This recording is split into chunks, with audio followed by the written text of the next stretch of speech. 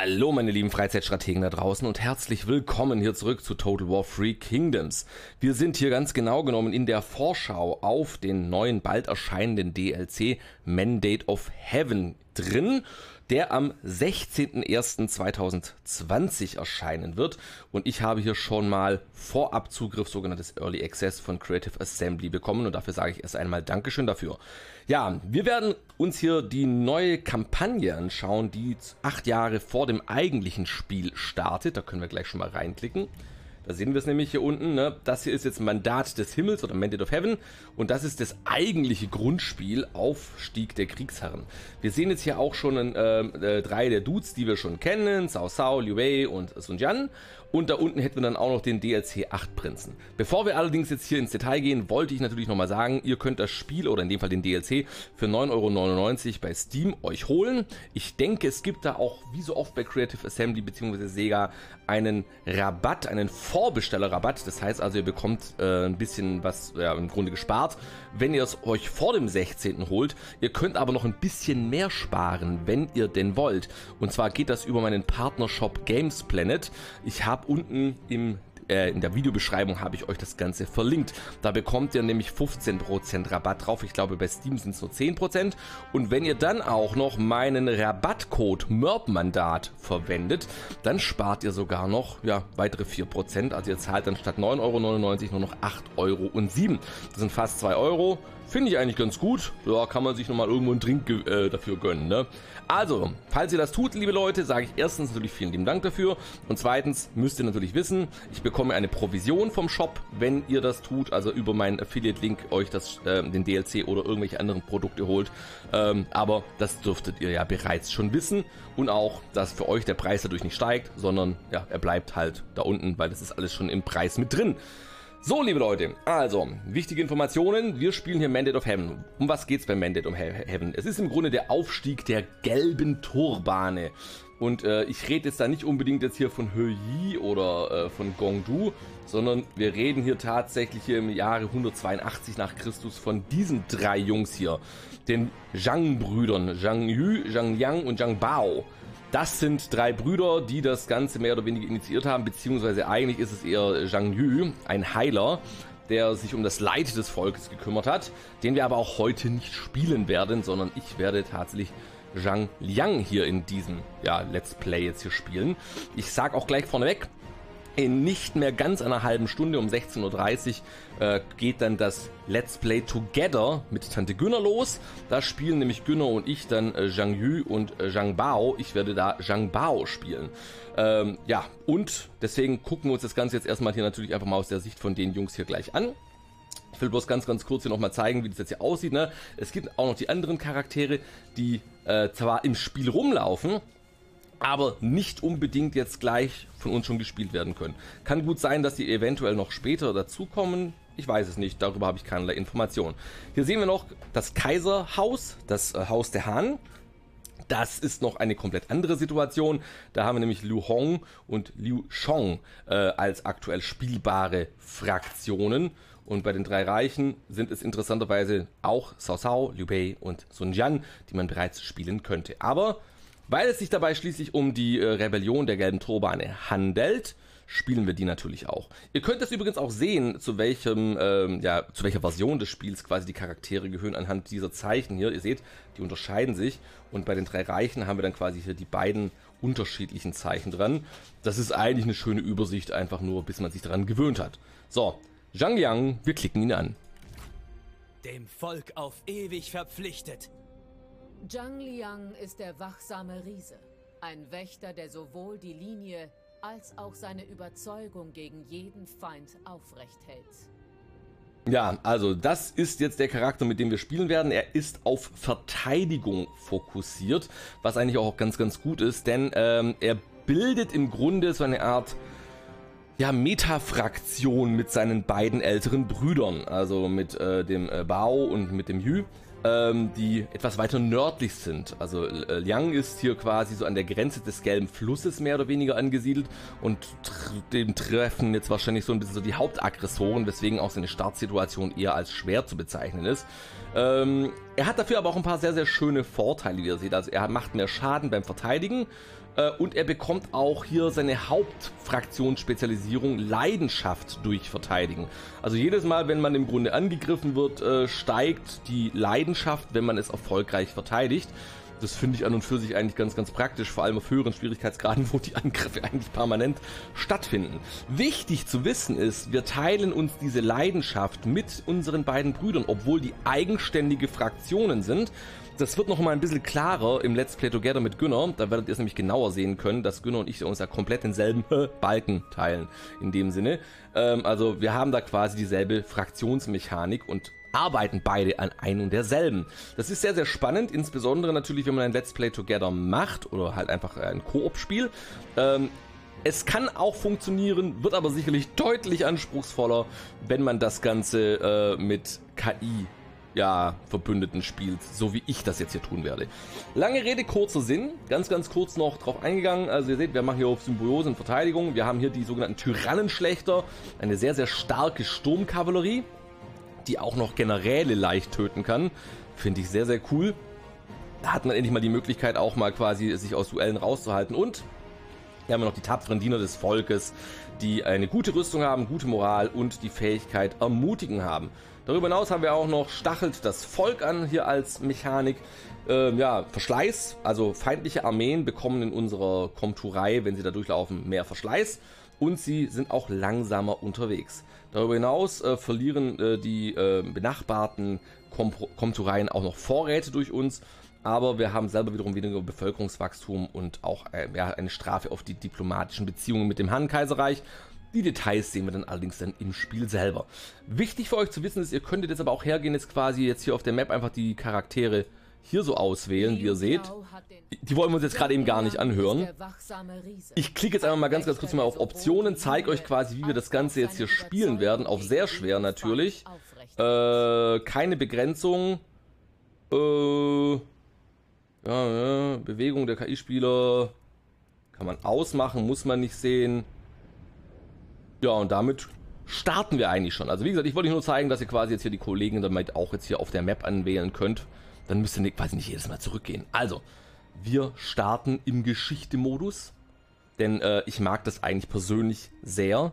Ähm, ich bin da halt so ein bisschen so gestrickt. Ich mag das mit diesen Überhelden. Hat für mich einfach so einen cineastischen Stil. Mag ich. Also, legen wir los. In allen Ecken des Landes verbreiten sich düstere Gerüchte über das Ende der Hahn. In ihrer Komturei schmieden die Zhang-Brüder Pläne, um die ihrer Ansicht nach korrupte Dynastie zu Fall zu bringen.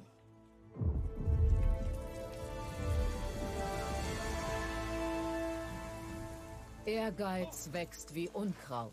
Er überwuchert und erstickt alles. Niemand kann der krankhaft süßen Verführung widerstehen. Die Han sind geschwächt. Die Eunuchen reißen immer mehr Macht an sich. Und einst treue Kriegsherren wittern ihre Chance. Während alle versuchen, ihre Macht zu festigen, plant Zhang Jue, sich selbst den Thron anzueignen.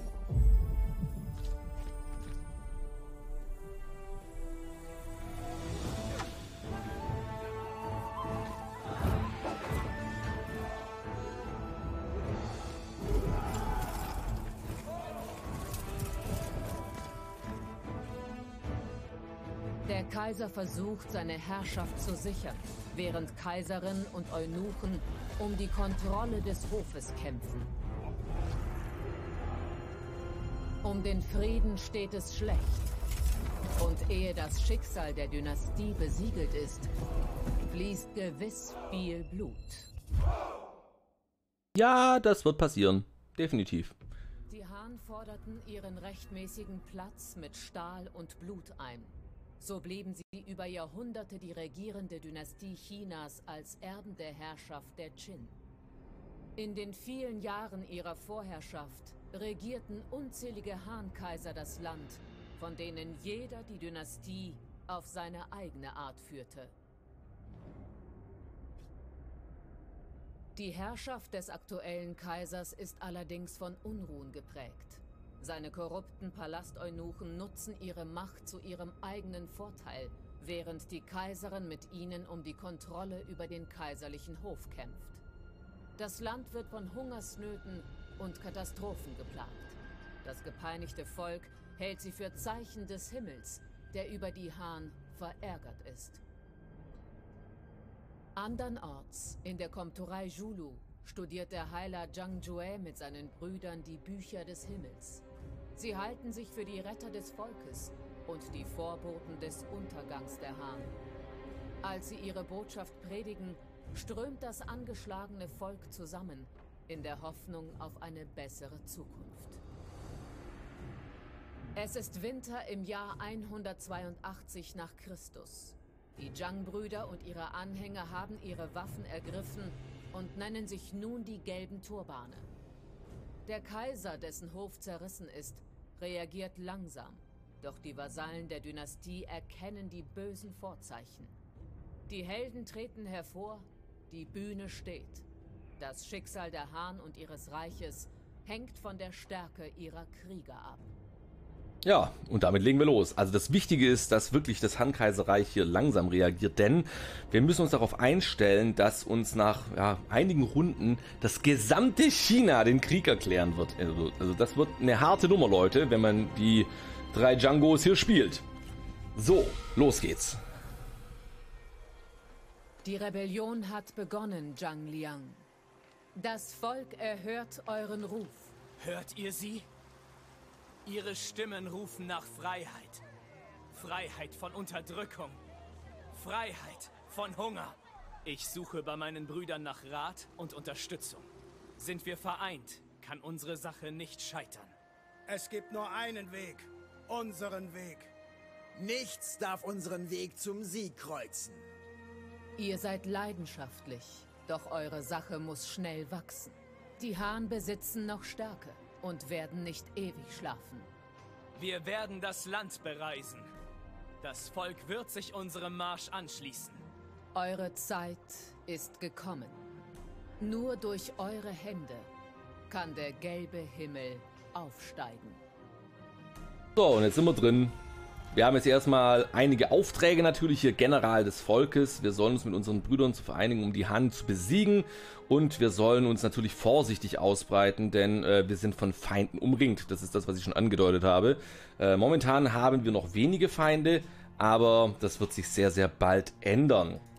Ich lese jetzt gar nicht alles so sehr im Detail vor. Das könnt ihr im Zweifel selber machen. Das sprengt auch den Rahmen. Das mache ich auch wahrscheinlich tendenziell eher im Livestream der übrigens heute Abend auch noch stattfinden wird. Ähm, also falls ihr hier nochmal eine weitere Fraktion live sehen wollt, kommt einfach auf meinem Twitch-Kanal vorbei. Die, der Link dort ist auch ebenfalls in der Videobeschreibung unten vorhanden. So, wer meine Mission erteilt? Zhang Liangs erster Erfolg ist die Wiederherstellung der Ordnung in diesem Land. Ja, wir sollen jetzt hier äh, den ja, gegnerischen General Shen Chi hier besiegen. Dadurch bekommen wir dann 5000 Gold und Leidenschaft. Leidenschaft, das gucken wir uns gleich noch an, ist das hier. Das hier ist die Leidenschaft, unser, ja, dieser Balken, von dem ich gesprochen habe. Wir starten hier auf explosiver Fanatismus und das ist auch der Bereich, in dem wir bleiben wollen. Denn es ist der einzige, der keine echten Nachteile mit sich bringt. Ihr seht hier, wir haben hier einen erhöhten Eifer, fraktionsweit. Eifer ist sehr, sehr wichtig das ist das hier, was wir in den Städten sehen können. Das ist äh, im Grunde so die Begeisterung oder der Eifer halt ne, äh, der Bevölkerung für die Sache der gelben Turbane. Wenn diese, äh, dieser Eifer steigt, der kann bis zu 100 hochgehen, äh, sinkt wiederum quasi die öffentliche Ordnung, wenn diese Ortschaften nicht von uns beherrscht werden, also nicht von äh, gelben Turban beherrscht werden. Das heißt, dass eine bestimmte Wahrscheinlichkeit besteht, dass die äh, Charaktere oder in dem Fall halt die Städte einfach einer Rebellion quasi unterliegen und ähm, gelbe Turbane hier und da überall auf der Welt aus dem Boden ploppen. Ähm, dieser Eifer verbreitet sich in benachbarte Gebiete und ähm, also kann sein, dass dadurch quasi, also ihr seht jetzt hier quasi benachbarte Bezirke Streitkräfte Wachstum. Also das resultiert halt einfach quasi aus dem benachbarten Gebiet hier. Hier zum Beispiel aus den Charakteren, weil da natürlich auch in diesen, dieser Komturei unser Charakter steht. Äh, und auch wiederum als Effekt aus benachbarten ähm, ja, Provinzen durch die Brüder, die wir hier haben. Ähm, ich schaue gerade eben extra mal runter schon auf die nächste Stufe. Ihr seht hier, die feurige Entschlossenheit hat jetzt schon Nachteile, weil da nicht mehr jeder mitmachen will. Da sinkt dann auch für uns die öffentliche Ordnung und auch die Nahrungsproduktion. Also für uns wäre es durchaus sehr, sehr wichtig, ihr seht, dass das uns hier nicht passiert. Vor allem auch, weil wir ähm, hier 10% mehr Schaden ähm, in der Verteidigung bekommen. Das ist jetzt unsere spezielle Fraktionsmechanik. Also jeder der drei Brüder hat da so eine leicht abgewandelte ähm, Interpretation dieses explosiven Fanatismus. Umso niedriger das Ganze sinkt, desto mehr Nachteile haben wir halt. Und ich sag's mal so, ab einem gewissen Punkt ist das Ganze hier halt einfach nicht mehr zu halten. Ne? Dann haben wir halt ein echtes Problem. Was aber ein echter Vorteil äh, an unserer Situation ist, ähm, und das machen wir auch gleich, da gucken wir uns gleich mal hier um. Warte mal, ich bin gerade mal überlegen, ob ich den Typen hier überhaupt behalten will, weil der versteht sich jetzt schon nicht mit unserem lieben Liang. naja, das können wir danach noch machen. Hauen wir jetzt erstmal die Kollegen hier weg. Am Anfang können wir das hier noch wunderbar delegieren. Das ist an und für sich gar kein Problem. Das hat nämlich CA jetzt, so, zumindest in der Version, die mir vorliegt, ähm, sehr, sehr schön gemacht, dass man jetzt hier nicht mehr alles so bockschwer am Anfang gleich hat, sondern gleich sich erstmal so ein bisschen etablieren kann. So, wir bekommen jetzt hier schon mal 10 Leidenschaft, das ist so der Standard, den man so bekommt. Wenn wir jetzt allerdings gewinnen, also wenn wir jetzt einfach verteidigt hätten, dann hätten wir ein bisschen mehr bekommen, aber in dem Fall ist es relativ irrelevant, weil wir nämlich äh, hier angreifen müssen. So, wir bekamen jetzt die 5000 äh, Kupfer nochmal fünf Leidenschaft, die uns jetzt hier äh, gut geschrieben werden. Und wohlgemerkt, ne, wir teilen genau denselben Balken mit den beiden KI-Fraktionen jetzt. Also wenn die was machen, steigt das ebenfalls. Wenn die äh, nichts machen, dann müssen wir halt umso mehr machen. So, nächste Mission, ich soll jetzt hier Jö einnehmen. Das ist hier diese Ortschaft, das machen wir auch. Bekommen wir nochmal fünf Leidenschaft und dann neue Missionen. Ja, das machen wir easy going. Rein mit uns. Auch das hier wird delegiert ist gar kein Problem. Damit haben wir schon unsere, unsere erste Ortschaft jetzt hier schon mal eingenommen. So, typisch für die gelben Turbane ist allerdings, dass sie nicht einfach nur besetzen, sondern sie besetzen und helfen den Verwundeten. Das sorgt dafür, dass wir gleich von Anfang an schon eine 100 also komplette Fraktionsunterstützung bekommen. Das heißt also, dass die Ortschaft äh, uns hier im Grunde ja, willkommen heißt. Wir verlieren zwar am Anfang 20% Bevölkerung, aber haben sofort ein extrem fettes Wachstum. Wir könnten natürlich jetzt auch hier plündern und besetzen oder plündern und zurückziehen, aber in dem Fall ist das für uns irrelevant. Die gehört nun uns. So, genau. Also Jö gehört nun uns. Jetzt haben wir hier neue Fraktionen hier freigeschaltet und das Mandat des Himmels beginnt. Der, die korrupte Han-Dynastie verlor das Mandat des Himmels. Das Volk Chinas blickt nun auf euch in der Hoffnung, von, den Tür, von der Tyrannei des kaiserlichen Hofs befreit zu werden. Schlagt gegen die Han zu, aber Vorsicht! Sie befehligen zahlreiche Kriegsherren und Armeen. Sie werden nicht tatenlos zusehen, während Anhänger des Himmels ihre Untaten, äh, Untertanen bekämpfen. Ja, der gelbe Himmel wird aufgehen. Und damit haben wir jetzt hier diese vier Missionen bekommen. Wir sollen einmal hier Taiyuan im Grunde die gesamte Komturei einnehmen, um hier quasi an äh, Werkzeugmacher und Eisenmine heranzukommen. Dann sollen wir äh, die neue Hauptstadt im Grunde bauen. Äh, sorgt dafür, dass ein folgendes Gebäude gebaut wird. Dann bekomme ich auch noch den Bo Bonus auf Ingenieure. Dann sollen wir diese Fraktion hier zerstören. Lose. Also der Loser, den sollen wir zerstören. Entschuldigung. Äh, und ähm, die Rebellen beschlagnahmen das Ackerland. Also wir sollen dann auch noch jetzt hier an Ping und Jö. Jö haben wir ja jetzt gerade eben schon. An Ping wäre an der Stelle auch nicht schlecht. Aber wir sehen jetzt auf jeden Fall schon mal, dass unsere Brüder da zuschlagen werden. Also äh, der gute Bao holt sich hier wahrscheinlich an Ping hier und danach wahrscheinlich auch an Ping Stadt selber. So, das sind jetzt hier erstmal unsere Aufgaben. So, jetzt sind wir erstmal richtig im Spiel drin. Wir haben auch Unterstützung bekommen. Oh, das ist gar nicht mal so schlecht, was wir da alles bekommen haben. Das ist jedes Mal random. Das ist nicht mal wenig. Aber ich muss jetzt ja auch gleich nochmal ein paar Leute äh, austauschen. So, kurzer Blick mal hier nochmal auf die Reformen, denn wir müssen ja auch forschen.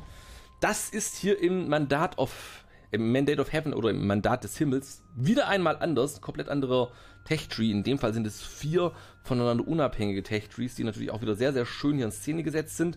Jeder der drei Brüder hat hier eine andere Startposition. Ähm, wir starten hier jetzt in diesem Bereich bei der Pflichtübung. Wir zahlen schon mal weniger Unterhalt für unsere Soldaten und können dann danach zum Beispiel jetzt hier die provinzielle Koordination machen, was uns dann in Schlachten ermöglicht, Öl äh, und auch Holzpfähle und so weiter und so fort aufzustellen. Dann könnten wir hergehen und hier noch mehr Militärvorräte machen. Wir könnten aber auch hier neu anfangen und einfach sagen, hm, ich möchte so schnell wie möglich hier, keine Ahnung, Richtung äh, General der fliegenden Steine gehen, also quasi Richtung äh, Trebuchet und so weiter und so fort. Dafür müsste man halt quasi dann diesem Pfad dann gehen. Oder man geht hier äh, den Handelsweg und äh, ja, geht hier erstmal rein oder hier, wenn man in die Wirtschaft investieren möchte. Im Grunde ist es relativ egal. Ich werde jetzt persönlich erstmal schauen, wo wollen wir eigentlich hin. Jedes Mal, wenn wir das machen, bekommen wir auch Erleuchtung. Hier zum Beispiel 15 Stück. Ich forsche jetzt mal das da. Erleuchtung ist äh, im Grunde die grundlegende Mechanik, wie wir hier aufsteigen. Momentan sind wir hier ergeben. Ähm, arbeiten daran, es hier ausbalanciert zu werden. Das kennt ihr höchstwahrscheinlich schon von Free Kingdoms. Und dann haben wir einfach mehr Armeen zur Verfügung, mehr Auftragsplätze für die äh, Komtureien. Wir haben äh, bessere diplomatische Beziehungen, unter Umständen mehr Nachschub äh, und so weiter und so fort. Also da kommen einige Sachen dazu. Äh, eventuell irgendwann mal sogar noch hier irgendwelche Jobs im Bereich äh, Politik oder sowas. Eigentlich müsste man hier bei, bei, beim Hof irgendetwas haben. Ist auch jetzt gerade ihm egal. Wir sehen auf jeden Fall, wir haben hier eine ganze Menge Leute, die hier gerade eben für uns hier zuständig sind oder zu, äh, mitmachen. Der hier, der muss dringend raus. Den hätte ich gerne getauscht ausgewähltes Gefolge wechseln. Jetzt will ich mal gerade mal gucken. Gibt es da irgendeinen, der. Ja, er hier, der Juhö. Juhö ist ein Dude, der mit uns klarkommt. So. Also haben wir das gemacht. Das hat jetzt natürlich ein bisschen Geld gekostet, aber dadurch haben wir jetzt hier nicht von Anfang an irgendwelche Spirenzien. So, hier ist übrigens unsere Tyrannenschlechter Kavallerie, die halt wirklich sehr, sehr stark ist. Was auch wichtig zu sagen ist, ne, es gibt überall durchgehend neue Einheiten. Also ähm, das Spiel unterscheidet sich schon ganz, ganz stark. Stellenweise, nicht vollständig, aber stellenweise von, äh, von der anderen grundlegenden Spielversion. Willkommen. So, jetzt haben wir hier noch ein paar Möglichkeiten, eventuell hier nochmal reinzuschauen. Ich zeige euch gerade immer hier die Charaktere. Also er hat hier schon mal Weg des Krieges. Ne? Wir haben jetzt hier sehr, sehr gute Tankfähigkeiten. Wir sind dann sehr, sehr stark im Ausweichen. Hier können wir nochmal die Rüstung äh, unseres eigenen Gefolges erhöhen.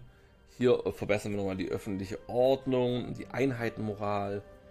Hier nochmal für uns selber Moral und Rüstung äh, in einem bestimmten Umkreis, 100 Meter um uns herum, also wir von uns ausgehend. Äh, geht allerdings erst los, wenn die Gesundheit unter 20% fällt. Ähm, und hier haben wir nochmal mehr Einkommen aus Landwirtschaft. Also Landwirtschaft ist für uns eigentlich der, eine der wichtigsten Sachen, denn wir sind ja schließlich eine der Armeen des Volkes. So, jetzt will ich gerade mal schauen. Einkommen aus Industrie. Da haben wir schon mal quasi einen ja, besseren, ähm, eine bessere Unterstützung. Der bringt mehr Reserven, fraktionsweit. Was ist das hier? Zufriedenheit und Instinkt. Ermöglicht Formation ausschwärmen. Das ist gar nicht mal so schlecht, weil dann verhindern wir nämlich, dass wir zusammengeballert werden. Umständen. Was haben wir da noch Schönes? Das Steinschwein. so, er hier. Gucken wir mal, was wir da noch reinmachen wollen. Der lebt auch eher so von... Ihr seht, die meisten von denen leben halt echt aus Entschloss von der Entschlossenheit. Bei ihm kann ich es momentan noch gar nicht so richtig genau sagen. Der 31, der 23. Ihm gebe ich jetzt hier mal Steinschwein wegen der Zufriedenheit. Äh, was ist das hier noch? Zufriedenheit. Bringt ihm das auch noch. Ja komm, dann ist er jetzt schon bei 33. Das wird sich noch ändern, das geht noch von alleine hoch. Wichtig für uns zu wissen ist, unsere Charaktere sind alles andere als legendär. Das sind eigentlich so richtige Naps am Anfang. Können tatsächlich nicht so viel. So, also, jetzt können wir uns mal hier die, die Ortschaft anschauen. Ähm, es macht durchaus Sinn, jetzt hier relativ schnell hier auf äh, die große Ortschaft zu gehen. Äh, dauert auch nicht lange, das zu machen. Könnt jetzt hier auch das Geld einsetzen. Kostet nur 1000 und dann haben wir quasi jetzt schon die große Ortschaft und dann gehe ich jetzt hier auf Bauernunterkünfte und verbessere damit jetzt hier schon mal quasi mein Einkommen. Gucken wir uns mal die Diplomatie an, damit wir uns mal darüber im Klaren sind, was das jetzt hier für uns bedeutet. Wir haben nur sehr eingeschränkte Möglichkeiten, zum Beispiel jetzt mit dem Kaiser zu ich verhandeln. Bin nicht in der Stimmung. Wir sind noch nicht wirklich mit ihm im äh, Frieden, aber auch nicht so richtig mit ihm im Krieg. Äh, wirklich diplomatisch aktiv werden. Hier nochmal ein weiteres Beispiel, ne? Oder hier. Muss das sein? Können wir nur mit unseren Brüdern haben. Willkommen, Freund. Also hier zum Beispiel mit Zhang Bao und mit Zhang Yue. Ähm, hier, ich gehe jetzt mal auf Handel. Ihr seht, momentan kann ich nicht mit ihm handeln. Äh, wir haben noch keine Handelsroute. Also muss ich mal gucken. Vielleicht ist es mit dem anderen Bruder Willkommen, möglich. Freund. Nee, ist es momentan auch nicht. Also momentan können wir da noch gar nichts machen. Und ähm, das wird auch so bleiben, ne? Also es ist sehr, sehr eingeschränkt. Im Grunde ist das hier so eine Art simuliertes This is Total War. Beende mal den Turn. Und man muss halt echt gucken, dass die anderen beiden Brüder am Leben bleiben. Und man halt die ganzen Gebiete erobert. Das einzig Gute ist bloß, dass die, ähm, ja, wie soll ich sagen, die anderen Fraktionen halt auch am Anfang ein bisschen passiv reagieren. Weil sie von diesem Ansturm oder dies- dieser Rebellion halt einfach überrascht sind. So, Lu Hong hat Zhang Yue den Krieg erklärt. So, jetzt hat der Kaiser schon unserem Bruder den Krieg erklärt. Wir selber kümmern uns da jetzt erstmal gar nicht drum. Wir schlagen jetzt erstmal diese Armee hier. So, den klatschen wir jetzt einfach mal weg. Aber keine Sorge, ich werde auch noch Schlachten ausspielen. Bloß jetzt hier in der ersten Folge habe ich mir gedacht, ich zeige euch erstmal einfach mal so das grundlegende Spiel. So, und noch mehr Leidenschaft bekommen. Wir holen uns noch mehr Nachschub. Er ist leider entkommen bei der Aktion. Folgt eurem Herz. Und jetzt gucke ich mal, ob ich noch was rekrutieren kann. Fände ich eigentlich ganz gut. So, hier haben wir jetzt hier die Möglichkeit zwischen Pest und Cholera am Anfang. Wir haben am Anfang ja wirklich nur Bauern oder die sogenannte Speerträgerbande, die uns noch so ein bisschen so eine Defensive bringt. Ähm, ihr seht, der Unterschied ist frappierend. Im Unterhalt nicht so sehr. Man kann darüber streiten, ob das jetzt hier äh, vielleicht die bessere Alternative wäre, um ein bisschen Geld zu sparen. Ich bin mir da momentan noch nicht so ganz sicher. So, er ermöglicht Ermutigen, ermöglicht Feuerpfeile, da sollten wir auf jeden Fall Bogenschützen reinnehmen. Er hat die passive Stärkung. Das heißt, er bekommt jetzt hier auf jeden Fall die Bogenschützen. Und ihr seht hier, die Wilderer haben einen sehr, sehr geilen Vorteil. Die haben zwar weniger Munition, dafür haben sie Vorhutaufstellung. Kosten aber ungefähr gleich viel. Ich nehme aber trotzdem jetzt erstmal hier die normalen. So, dann haben wir das jetzt erledigt. Und was machen wir hier noch rein? Was denn du hier für Vorteile? Mo du momentan noch gar keine. Mhm, mhm. Dann würde ich mal sagen, wir geben ihm jetzt hier diese zwei Speerträger. Und dann noch zwei davon. Dann haben wir nämlich die erste Full-Stack schon mal. Und mit der Full-Stack können wir dann versuchen, dann hier das Ackerland von Dieu einzunehmen. Nächste Runde. Ich habe es hier natürlich gerade eben ein bisschen Bewegung dadurch geopfert. Ich hätte vielleicht mich erst voll bewegen sollen und das dann andersrum machen. Aber jetzt gehen wir auf jeden Fall da gleich nochmal hin. Und dann haben wir nämlich hier äh, schon mal unsere erste Komturei fertig. So. Wir marschieren da ein. Breitet euch aus. An die Waffen. Und auch das hier können wir jetzt einfach delegieren. Also ihr seht, die sind am Anfang halt auf uns echt nicht vorbereitet. Aber so leicht wie das jetzt wirkt, wird es nicht bleiben. Das könnt ihr mir glauben. Also das wird echt noch ein hartes Stück Brot werden. Sie hat großes Potenzial. So. Jetzt haben wir das hier. Achtung! Haben die Komturei, können einen Auftrag starten. Jetzt bin ich mir überlegen, was wir für einen Auftrag starten wollen. Das ist ja schließlich auch jetzt hier Nahrung. Hier können wir öffentliche Ordnung reinklatschen, Handelseinfluss. Äh, zieht neue Charaktere an, brauchen wir gerade eben nicht so wirklich. Einkommen aus Seide. Stachelt das Volk an, das ist das hier, wie ihr seht. Sorgt dafür, dass dann quasi die feindlichen Armeen äh, Verschleiß bekommen, aber ihr seht, dann wachsen, äh, dann, dann wandern auch die Leute ab. Also das ist mit Vorsicht zu genießen, was man hier macht. Und es reduziert auch die diplomatischen Beziehungen mit dem Han-Kaiserreich, was aber gegen später völlig egal sein wird. Wir machen jetzt äh, mit dem Kollegen das da, würde ich sagen.